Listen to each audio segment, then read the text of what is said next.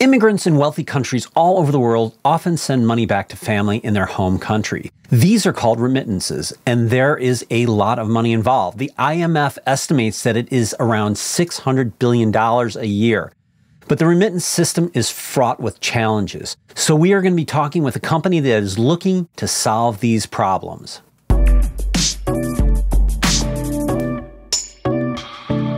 Hey, everybody, this is Chris Brandt here with Sandesh Patel. Welcome to another future podcast. Hey, I just want to take a minute to say if you want to support the channel, please hit that subscribe button. 95% of the people who watch these videos are not subscribers, and it is the best way to help the channel. As much as 10% of the Philippine economy is said to be remittances, yet only 37% of global remittances are digital. WorldRemit is looking to change that. They are building a global digital payment system to make sending remittances easier, faster, and less expensive. Today, we have with us from Manila, Earl Melivo, a global payment expert and director of country and business development for WorldRemit. He's going to fill us in on the growing global remittance market. Welcome, Earl. Thank you, Chris. Thank you for having me and then uh, for this opportunity. I'm super excited to talk to you. I think this is a really interesting topic. I think you know, remittances is not something that a lot of people are familiar with unless you, you know, are sending money back home and and uh, you know you use the system a lot. Um, but before we get to that, I would love to hear a little bit about you know what WorldRemit is. What was the sort of founder's idea in starting it and that story? WorldRemit is a purely digital money transfer company, which means we don't handle cash on the send side. Yeah. Although we enable transfers digitally 24 by 7 via our own app and our webpage, obviously, and uh, allowing transfers to 140 plus countries, uh, including payouts through bank accounts, mobile wallets, uh, and even cash um, for certain uh, territories or countries. Uh, we started uh, way back in 2010. it was um, initially an idea from our co-found, one of our co-founders, Ismail Ahmed, uh, he's an immigrant from Somali, um, Somaliland in particular. And uh, when he was uh, working early on in the UK and obviously started, uh, well, studied as well uh, in that process, um, he, he had a very hard time sending money back home, uh, which very challenging. Um, and it's very common at that time, meaning for an immigrant who doesn't really know how, how money works in in in in the host countries where they are it's always challenging to find ways on how to send money back home. And that's ironically the very reason why you actually migrated or or worked abroad right? Uh, it's for you mm-hmm. to send money back home. Uh, it was very challenging i'd say but we've come a long way. Um, and uh, we're very proud to say that we're one of the uh, companies that really contributed positively to uh, migrants and their fami- families and also uh, to the wider economy of, of these um, uh, countries like, for example, the Philippines. It's it's it's a surprisingly large amount of money, and it's an and it's an it's a surprisingly large part of many countries' um, economy. I, I was just pulling up some statistics here. The top country for remittances uh, apparently is India, and in 2021, I see they did 87 billion dollars in remittances. China did 53 billion, Mexico 53 billion, and then Philippines comes in at 36 billion dollars. I mean, those are those are some really big numbers, right? Indeed, absolutely. And uh, as you mentioned, uh, it's actually 10% of our GDP as a country. So 10% of economy of, our, of the Philippine economy is coming or being supported by overseas Filipinos sending money back home. So that's how huge uh, and, and important it is uh, not just for the economy, actually, even for our culture. Um, at the very fabric of our society, one in every 10 Filipinos actually uh, working abroad. And uh, that says a lot of uh, uh characteristics, I'd say, why uh, remittances are, are actually very important for us. Yeah, and, and you know, it's it's amazing how much of people's income goes to that too. I mean, I remember years, many years ago, I was waiting tables in a restaurant, um, not a good restaurant, um, and there was a guy who worked there, Dominic was his name, and he was a Mexican immigrant. And he would work all day at a grocery store and then all night uh, bussing tables at, at this restaurant. I mean, the guy worked pretty much nonstop and he spent, sent almost every cent he made back home.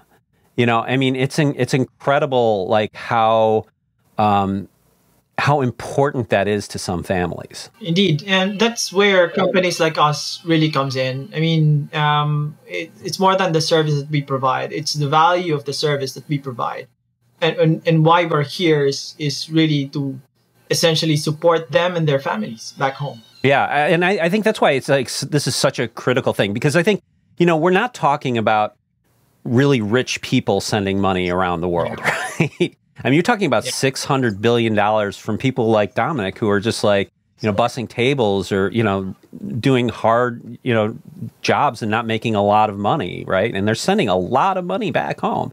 So, you know, you, they wouldn't be doing that if it wasn't super critical, right? Indeed. Absolutely. Absolutely. So we, we've kind of talked about what remittances are and, and you know, what, how they're so incredibly important. But, you know, one of the things, you know, I, I, mentioned it, you're making it easier and you're making it more cost effective and faster.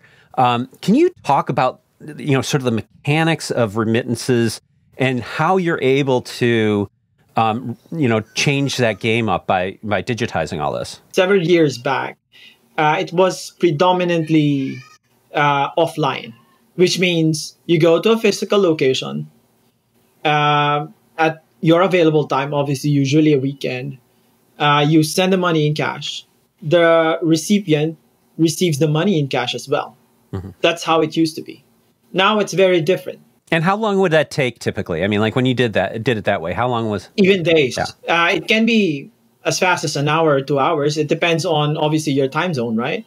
Uh, someone sending it uh, afternoon P- Philippines would uh, sorry, sending afternoon in the US, sending to the Philippines would obviously be morning time, our time, uh, when you receive it, right? So it takes about a few hours for it to be actually available. But I, am ta- I mean, for the for the for the offline sort of paper version, how mm. long would that whole process from start to end take? It can be hours or even days. Used to be like that. Yeah, I mean, I, I would imagine that would take a long time to to get those. Yes, uh, and even actually if you talk about the earlier digital versions of remittances via Swift, for example, it takes days. Yeah. Um, yeah. Even no, you're if you you're already sending to a bank account, it takes days. But that's not the case anymore. Yeah. Yeah. And and that's the important role that we play in as yeah. a digital company.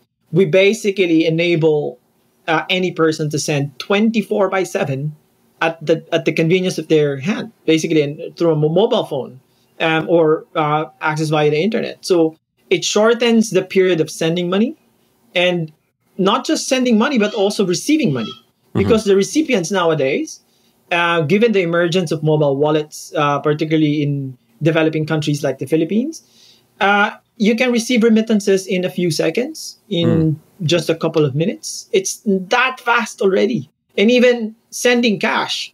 Uh, say, for example, you want to send money now, there are already cash payout locations that caters 24 by 7 and also you can do it using your mobile phone which i can actually pick up once i get the reference number which is usually just uh, sent to me by sms by WorldRemit, for example. Um, the recipient can as soon as he gets uh, the sms he can go to the cash pickup location and, and get the money.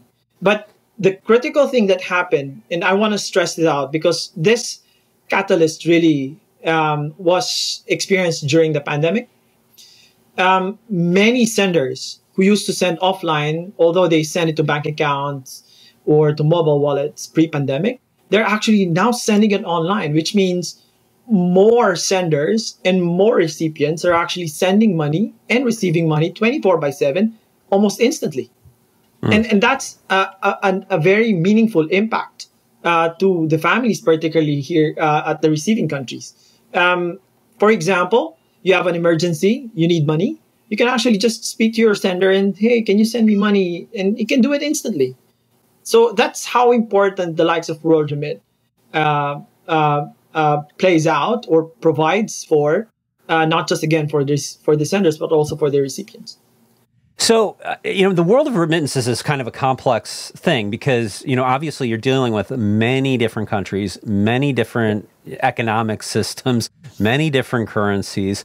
Some of these currencies are very volatile. So I know one of the challenges in the remittance world is you're, you know, like, and, and, and the speed of the remittance kind of matters too, because if yeah. you take money from somebody and then it's two or three days before it gets paid out, you know, yeah. currency rates are fluctuating. You know, that could be, you know, that could go up and it could go down, right? And and so I, I imagine in the remittance world, you have to kind of buffer for a lot of that activity, right? Uh, absolutely. That's the reason why we need to uh, consistently monitor the movements in the FX markets where we operate in.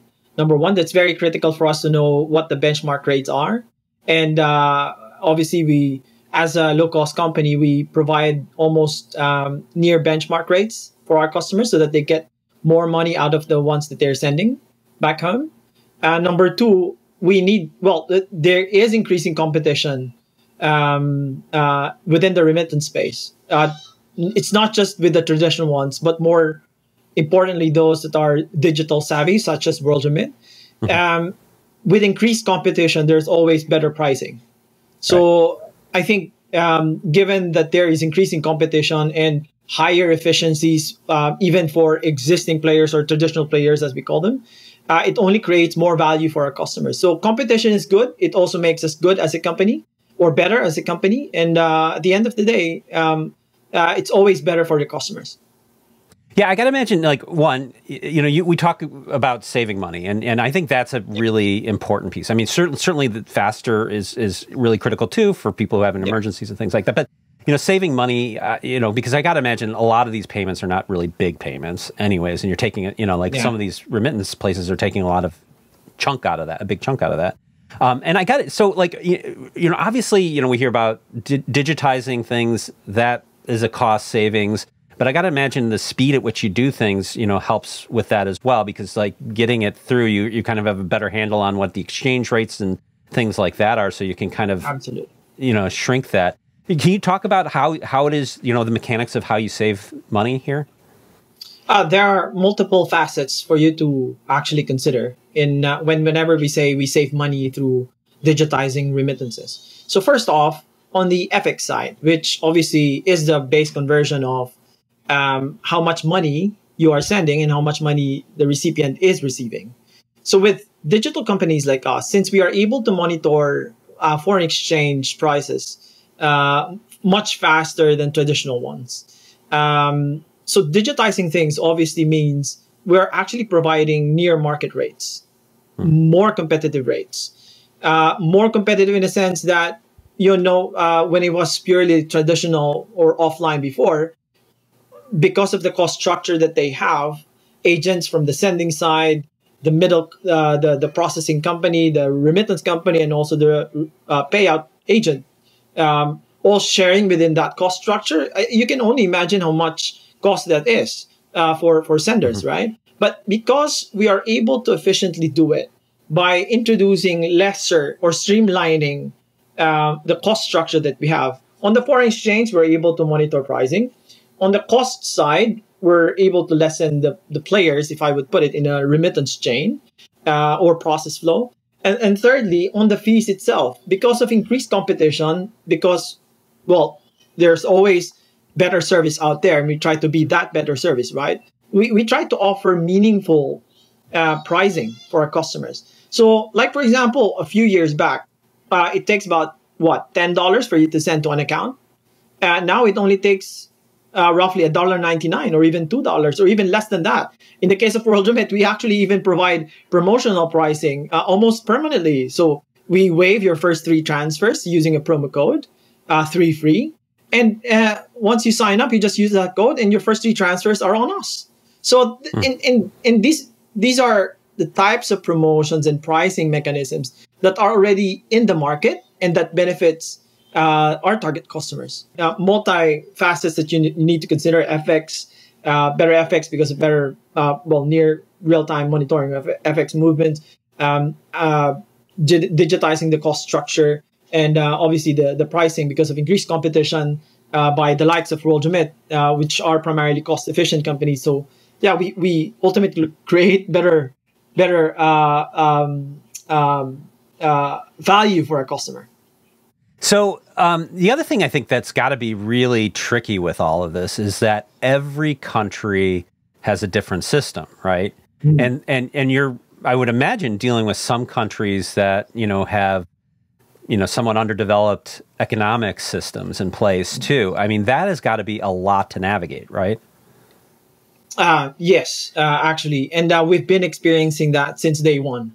Um, however, the good thing is that since we are primarily technology savvy, uh, technology based company, we tend to uh, work with uh, like minded companies. Um, so, and also, if I would put it, because of the pandemic, primarily, it, it, it basically pushed everyone to be digital savvy. Um, even our payout partners have developed their systems for us. Even the governments, like the Philippines, for example, we have now uh, a real time processing of uh, funds from one bank to another. And mm. we're actually benefiting from it because one of our bank partners or a couple of our, our bank partners are able to process uh, transfers uh, in near real time. So markets are moving generally and are improving generally. Uh, but uh, companies like us are, are really paving the way for for for digitizing and, and obviously making the all the, the overall cost structures uh, beneficial for, for for senders and recipients. So I got to imagine there's there's a few countries though for you that have to be just really difficult to yes. to operate well, there, in. There will always be a challenge um, anywhere you operate, uh, Chris. It's just that how you actually navigate as a company in, in addressing those challenges. There were very difficult situations before uh, for example, when the um, uh, Nigerian government actually dollarized quote unquote their economy a couple of years back, uh, it all of a sudden remittances need to be paid out in US dollars.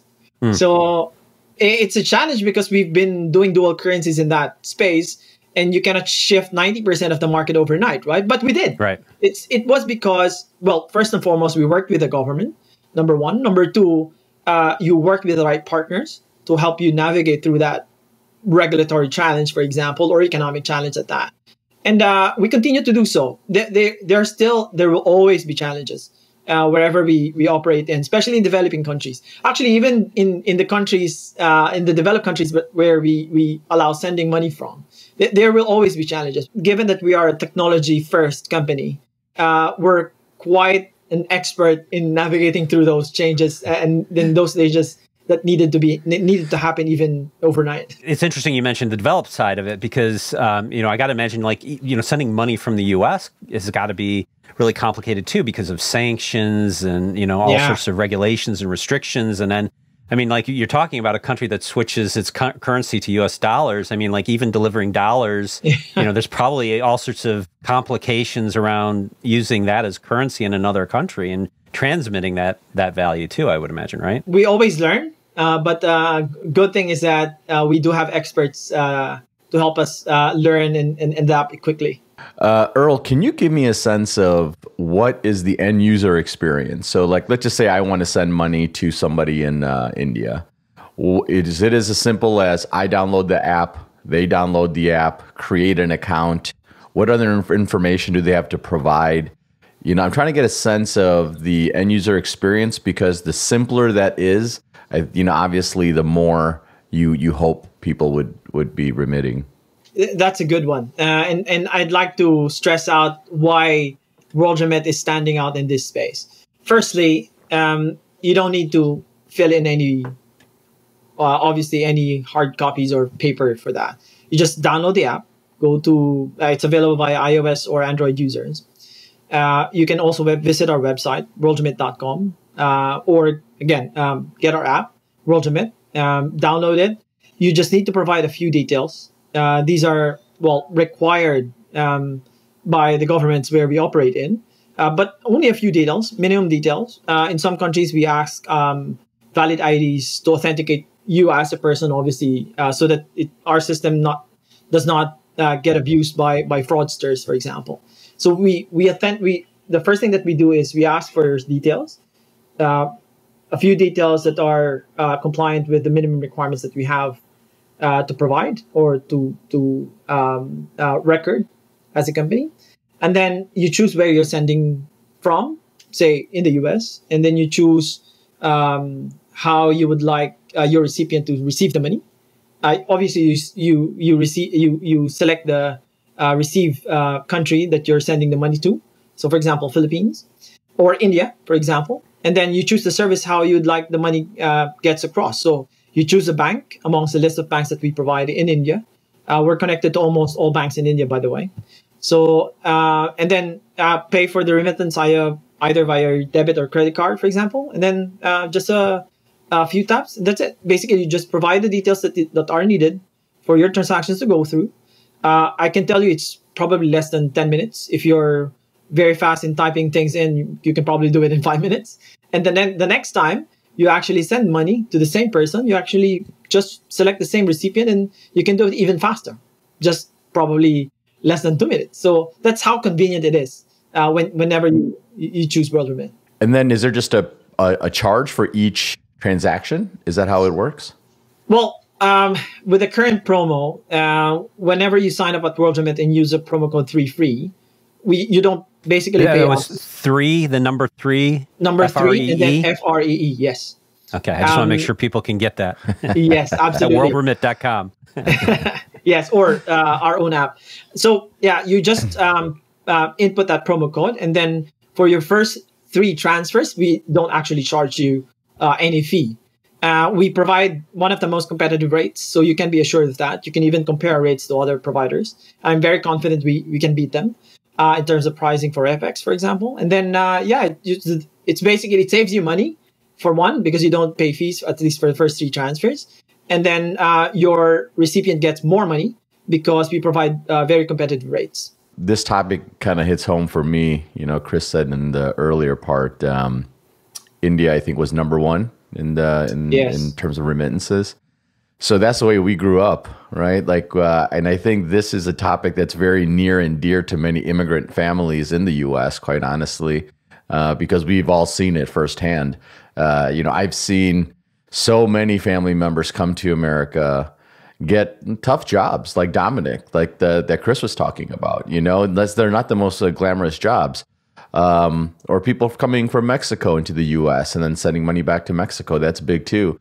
Um, but how helpful that is to the families back in other countries. You know, I think the the value of the service that you're providing is just so incredible um, and so needed. You know, in in this, you know these days we we talk about this. Um, wealth disparity you know across our world you know it's growing everywhere and it just it's getting worse and worse right the rich get richer and you know the middle class gets shrunk and so this is an amazing opportunity for for people to help other people in other countries, you know. And quite honestly, we need more of that just because we need more love in this world and we need uh you know, we we we need to be looking out for each other because there's definitely, you know, the way I grew up in an Asian Indian family, um, there is this cultural part of it where you almost feel uh, it's your duty. It's your duty to make. it's your obligation that if you are in America and you are doing, uh, you know, you have a job, and if you can, you send money back. I mean, that's just a, it's just part of the culture, right? Even multi generational migrants. So, for example, Filipinos in the U.S. They've been there since 1970s or early 60s, even.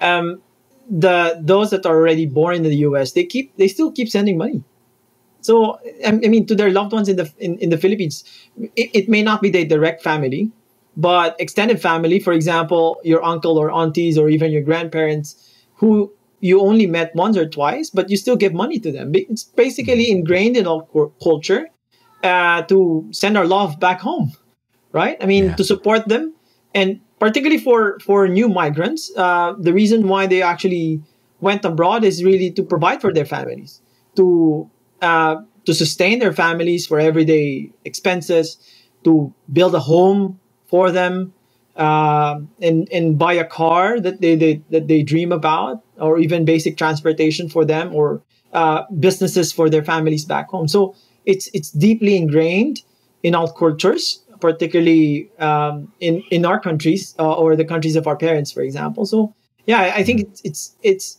and, and primarily because we were uh, co-founded by a by an by a migrant himself, um, and and that speaks volume about why we're here as a company, and and that's what we strive for, really, to provide value or valuable service for for for for our customers and their families back home.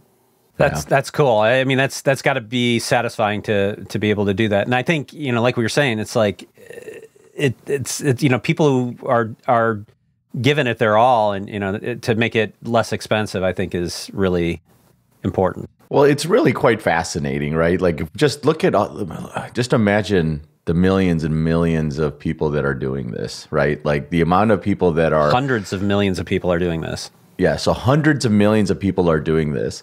And it's such a selfless act, you know? Like there's literally people m- moving to the US for the purpose yeah. That they are now going to be the, you know, the economic engine for the family.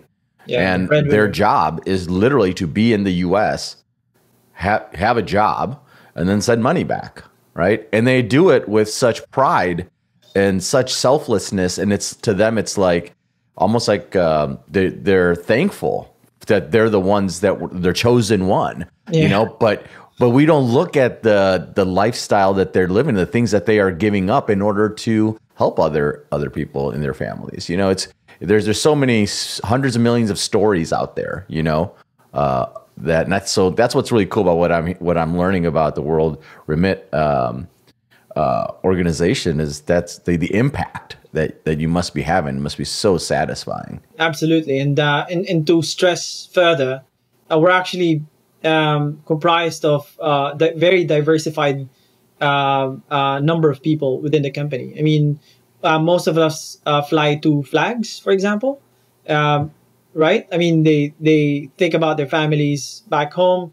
They they are welcomed as migrants in their host countries, like the U.S., for example. So they are both contributing to the economies of the host country, but also obviously to the economies of the receiving country, and and that direct relationship between them and the recipients, uh, we do fully recognize that, and we try to build services around not just for senders. We're now even looking into recipients providing uh, other services outside of remittances for them. So it's deeply ingrained in the culture of, of the company as well uh, that uh, this migrant economy and the services around it needs to be provided better.